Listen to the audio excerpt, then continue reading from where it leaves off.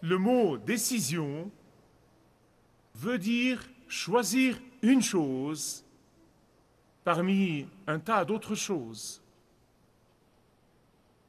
En fait, l'essence même du mot veut dire éliminer. En raison de votre décision, vous choisissez d'éliminer toutes les autres options. Si vous vous décidez pour une chose, vous supprimez toutes les autres options en faveur de la chose pour laquelle vous vous êtes décidé. C'est ce que veut dire prendre une décision. Et c'est précisément pourquoi il y a beaucoup de gens indécis aujourd'hui. Parce que ils ne veulent pas supprimer les autres options. Mais la Bible nous conseille vivement d'être décisifs lorsqu'il s'agit de notre avenir éternel. La décision que nous prenons ici-bas détermine le lieu où nous passerons notre vie éternelle, où nous passerons l'éternité. Nous ne parlons pas de cent ans ou de mille ans, nous parlons de l'éternité, pour toujours et pour toujours. Aujourd'hui, notre culture postmoderne euh, critique les gens décidés. Nous louons les indécis. Nous disons, ne vous engagez pas. Vous pouvez ressentir une chose aujourd'hui, en en ressentir une autre demain. Et les sentiments sont l'ennemi de l'esprit de décision. Et pourtant, la confiance complète dans les sentiments est devenue l'évangile de notre culture postmoderne. Et donc, nous avons aujourd'hui des églises remplies de gens qui ont ajouté Jésus à tous les autres trucs dans leur vie. Euh, ils ont inclus Jésus parmi toutes les autres options dans leur vie. Pour eux, Jésus est une police d'assurance supplémentaire au cas où. Mais Jésus nous fait bien comprendre que si nous nous décidons pour lui, nous devons supprimer toutes les autres options. Écoutez ce que dit Jésus dans Matthieu 7. Il dit Entrez par la porte étroite, c'est-à-dire à travers Jésus et Jésus seul. Entrez par la porte étroite, car large est la porte et spacieux est le chemin qui mène à la perdition, et nombreux sont ceux qui entrent par là. Mais étroite est la porte et resserré le chemin qui mène à la vie, et peu nombreux sont ceux qui le trouvent. Et c'est pourquoi il dit, je suis le chemin, la vérité et la vie. Jésus n'a jamais, jamais, jamais utilisé des mots trompeurs, n'a jamais utilisé de mots ambigus pour le coup d'être un de ses disciples. Il n'a jamais utilisé de petits caractères que vous devez chercher attentivement pour pouvoir les voir. Jamais, jamais, jamais. Il a dit, quand vous venez à moi, vous devez supprimer toutes les autres options. Soit je suis le Seigneur de tout, soit je ne suis pas Seigneur du tout. Si vous voulez la vie éternelle, vous devez prendre une décision et aller jusqu'au bout et agir en conséquence. Vous voulez accéder au ciel? Alors vous devez croire que Jésus seul vous y prendra. Et son plan pour le salut est le seul plan qui vous permet d'accéder au ciel. En fait, vous ne pouvez pas accéder au ciel si vous croyez que Jésus est juste un chemin parmi beaucoup d'autres bons chemins. Tous les êtres humains sur la surface de la terre doivent se décider soit pour Jésus, soit contre Jésus, soit pour le plus grand mensonge, soit pour la vérité. Ils doivent se décider soit pour la plus ancienne tromperie de Satan, soit pour la rédemption de Jésus, soit pour le chemin de l'homme, soit pour le chemin de Dieu, soit pour entrer par la porte étroite, soit pour entrer par la porte large. Ils recevront soit la vie éternelle au ciel, soit la vie éternelle dans le tourment. Ils recevront soit une vie de paix et de joie et de contentement ici dans cette vie, et l'éternité avec Jésus à la fin, soit une vie de culpabilité et de vide et de confusion ici-bas et la damnation éternelle à la fin. Une décision doit être prise. Aujourd'hui, j'ai l'occasion de vous parler de mon sujet préféré après Jésus, à savoir le ciel. J'aime penser au ciel. Je fais tous les plans de ma vie, je vis à chaque instant, je fais toutes mes activités et je prends toutes mes décisions en pensant au ciel. Je veux vous dire tout d'abord que le ciel est réservé seulement à ceux qui se sont décidés pour le Christ et le Christ seul. Le ciel est réservé seulement à ceux qui ont accepté Jésus comme le seul chemin au ciel. Le ciel est réservé seulement à ceux qui aiment Jésus et servent Jésus et obéissent à Jésus dans cette vie. Le ciel est réservé à ceux qui reconnaissent leur péché et leur échec et qui cherchent le pardon seulement de l'agneau de Dieu qui a répandu son sang pour leurs péchés. Le ciel est réservé seulement à ceux qui reconnaissent qu'ils ne peuvent être acceptés par Dieu le Père que par Dieu le Fils. La Bible nous apprend cette chose sur le ciel. D'abord, la Bible nous apprend que le ciel est un vrai lieu. C'est un vrai lieu. Ce n'est pas un état d'esprit. Ce n'est pas une idée abstraite. Ce n'est pas un vœu pieux. Ce n'est pas une façon de parler. Les faux enseignants et les faux prédicateurs ont enseigné ces trucs tout au long des générations, mais ce n'est pas la vérité. Car quand Jésus a parlé du ciel, et rappelez-vous qu'il est le seul qui est venu du ciel, quand il a parlé du ciel à ses disciples dans Jean chapitre 14, il a dit, je vais vous préparer un état d'esprit, n'est-ce pas? Non? Je vais vous préparer une façon de parler, n'est-ce pas? Euh, Je vais vous préparer une idée abstraite. Non, il a dit, je vais vous préparer quoi? Je vais vous préparer une place. Et le mot grec topos veut dire un emplacement. Euh, il n'a pas dit, je vais vous préparer un état d'esprit, il a dit, je vais vous préparer une place. Et dans Actes chapitre 7, comme Étienne était lapidé à mort et il était sur le point d'aller au ciel, il a vu de ses propres yeux spirituels les cieux ouverts et le Fils de l'homme debout à la droite de Dieu. Et dans Apocalypse chapitre 4, l'apôtre Jean nous donne une vision fugitive du ciel et il dit, dans le chapitre 4, il dit, je regardais et voici, une porte était ouverte dans le ciel. Ce n'est ni une idée abstraite, ni une façon de parler. Le ciel est un vrai lieu avec de vrais gens qui ont de vrais corps. Le ciel est une vraie vie et une vraie joie et une vraie paix. Il y a de vrais anges au ciel et le ciel est ma vraie maison.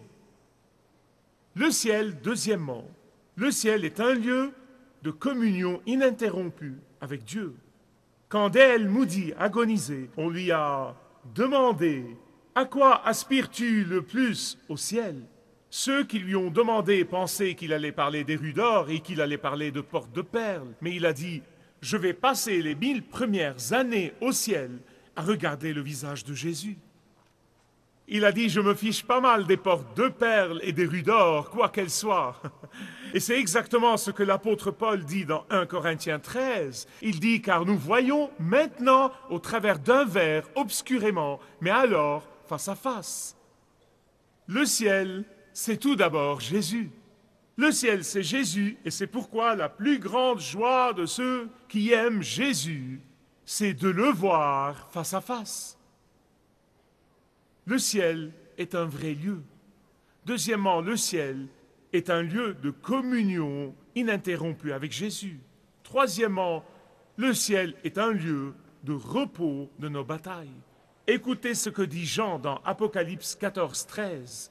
Il dit, et j'entendis du ciel une voix qui disait, écrit, Heureux dès à présent les morts qui meurent dans le Seigneur, afin qu'ils se reposent de leurs travaux, car leurs œuvres les suivent. Or ceci a été interprété tout au long des années comme quoi nous serons oisifs au ciel. Nous nous détendrons et nous nous allongerons et ferons le plein de soleil. Ou bien nous nous allongerons sans rien faire, ou bien nous nous euh, euh, assiérons sur les nuages floconneux et nous jouerons de nos harpes. Non, non, non, non, ce n'est pas ce qui arrivera. C'est peut-être la vision des réformes sociales, c'est peut-être la vision des réformes économiques, mais ce n'est pas la vision du ciel. Nous travaillerons au ciel. nous travaillerons plus que jamais. En fait, le repos dont il s'agit ici est le repos des batailles que nous livrons, des batailles spirituelles, des batailles avec Satan et des batailles avec la chair et des batailles avec le monde.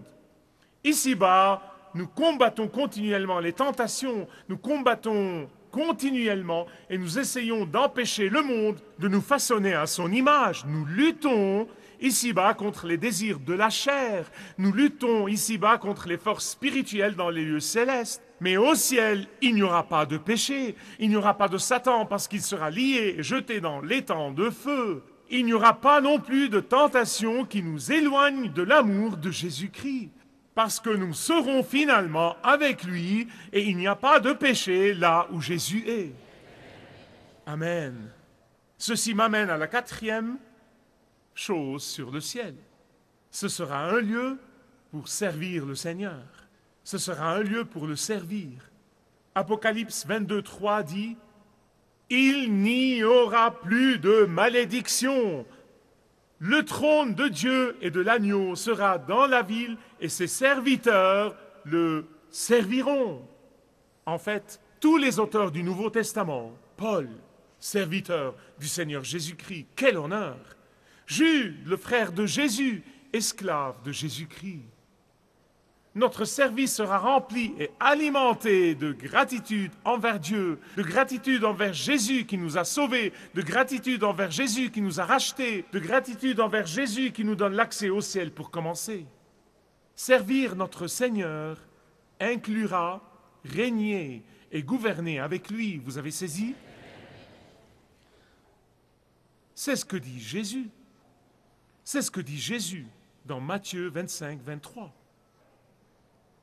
il dit à tous ses serviteurs fidèles, Bien bon et fidèle esclave, tu as été fidèle en peu de choses, je vais t'établir. Pouvez-vous dire établir? Je vais t'établir sur beaucoup. Vous voyez, nous devons être prêts pour régner et gouverner avec le Christ, en régnant et en gouvernant nos passions et nos désirs et nos maisons. Mes amis, je veux vous demander, êtes-vous fidèles au peu de choses que Dieu vous a mis entre les mains? Car votre fidélité au temps qu'il vous a donné, à l'argent qu'il vous a donné, à l'énergie qu'il vous a donné et à toutes les choses qu'il vous a mises entre les mains, votre fidélité à ce que vous avez ici-bas détermine l'envergure de votre règne avec lui quand vous serez au ciel. Le ciel est un lieu réel. Deuxièmement, le ciel est un lieu de communion ininterrompue. Troisièmement, le ciel est un lieu de repos. Quatrièmement, le ciel est un lieu de service. Cinquièmement, le ciel est un lieu où la connaissance abonde. Dans 1 Corinthiens 13, Paul dit, Aujourd'hui je connais en partie, mais alors je connaîtrai comme j'ai été connu. Ici bas, nous avons des questions et nous crions souvent au Seigneur, pourquoi Seigneur? Pourquoi cette maladie? Pourquoi cette souffrance? Pourquoi ce mal? Pourquoi ce péché? Pourquoi ce tremblement de terre et cet ouragan? Pourquoi? Oh, mais vous ne poserez pas ces questions au ciel. Vous n'aurez pas besoin de poser ces questions. Parce qu'au ciel, vous verrez comme Dieu voit. Vous comprendrez comme Dieu comprend. Vous saurez comme Dieu sait. Amen. Amen. La sixième chose sur le ciel, c'est un lieu de gloire continue. Quand ceux qui appartiennent à Jésus consacrent plus de temps à organiser leurs vacances ou à préparer leur retraite ou à organiser leur maison terrestre et ne consacrent aucun temps à leur demeure éternelle ou à leur vie éternelle, il y a quelque chose qui ne va pas dans leur salut. Paul dit, examinez-vous constamment combien de choses dans cette vie, dans ce monde, sont motivées par votre ciel. Tous les combien pensez-vous à votre demeure éternelle? Vous ne pouvez pas passer votre vie à planifier cette vie sans jamais penser au ciel et me dire que vous appartenez à Jésus. Il y a quelque chose qui ne va pas dans ce tableau. Vous voyez, toute la souffrance, toute la douleur, tout le chagrin et toute la détresse que nous éprouvons ici-bas peuvent être surmontées quand vous commencez à penser à votre demeure éternelle. Croyez-moi, essayez, je sais que ça marche. Écoutez ce que dit l'apôtre Paul dans 2 Corinthiens chapitre 4, 17. Car nos légères afflictions. Non mais pensez-y, il dit nos légères afflictions. De quoi parle-t-il? Cet homme a été battu, cinq fois fouetté, 39 coups. Le quarantième l'aurait tué, c'est pourquoi il s'arrêtait à 39. Il a été lapidé, il a été laissé entre la vie et la mort au moins trois fois.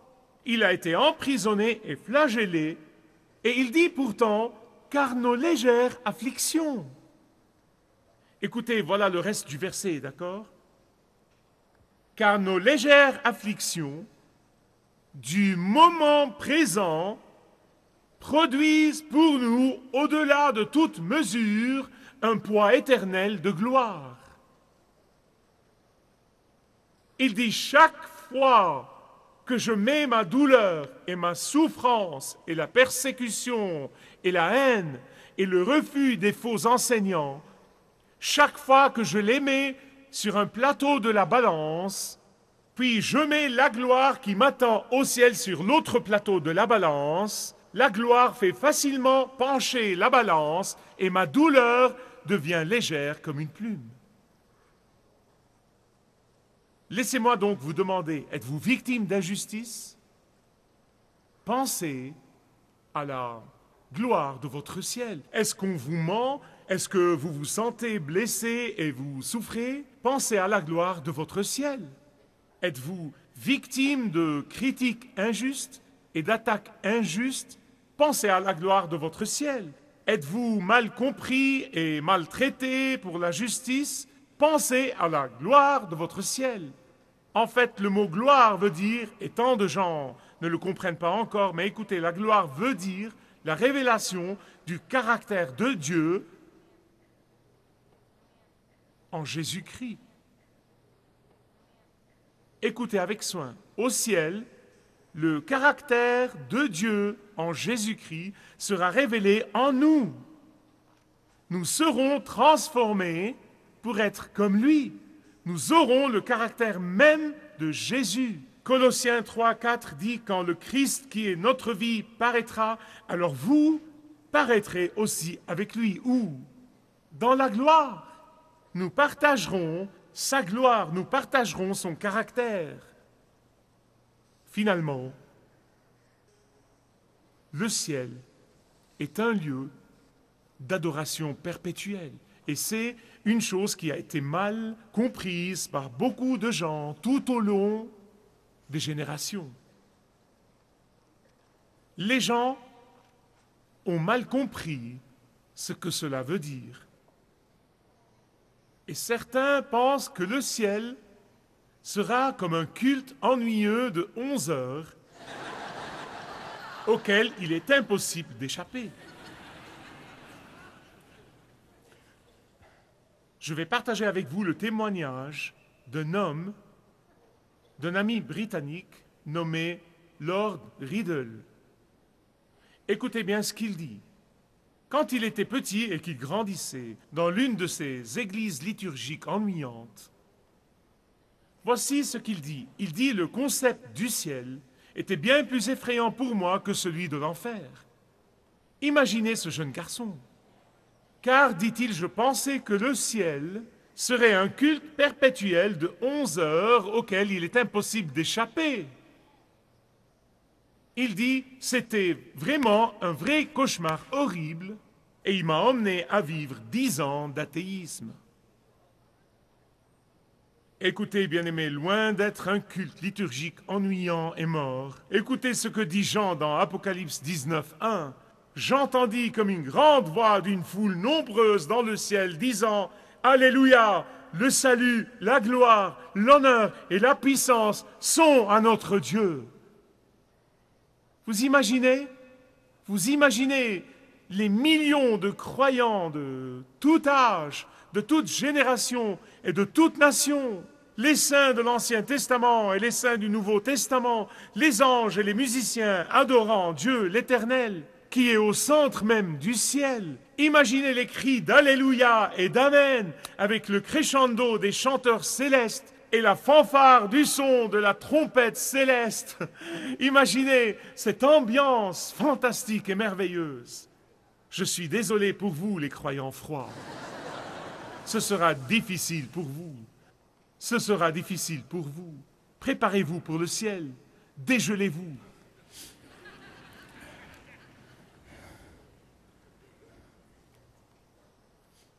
C.S. Lewis était un homme capable d'exprimer les choses en peu de mots. Et je lui envie ses capacités. Il dit que il dit que le ciel est loin d'être un culte ennuyant de 11 heures. et il parle de l'arrivée des croyants au ciel et de l'effet que ça leur fait. C'est une longue citation, mais je vais vous donner juste la dernière phrase. Elle est magnifique. Il dit, là, au-delà de toute possibilité de doute, vous direz, voilà enfin la chose pour laquelle j'ai été créé. Êtes-vous créé pour le ciel? Si vous ne l'êtes pas, vous pouvez l'être aujourd'hui. Si vous désirez connaître Dieu d'une manière personnelle, demandez le livret Retrouvez la joie que vous avez toujours désirée. Et vous pourrez découvrir l'amour de Dieu pour vous et apprendre comment expérimenter son pardon.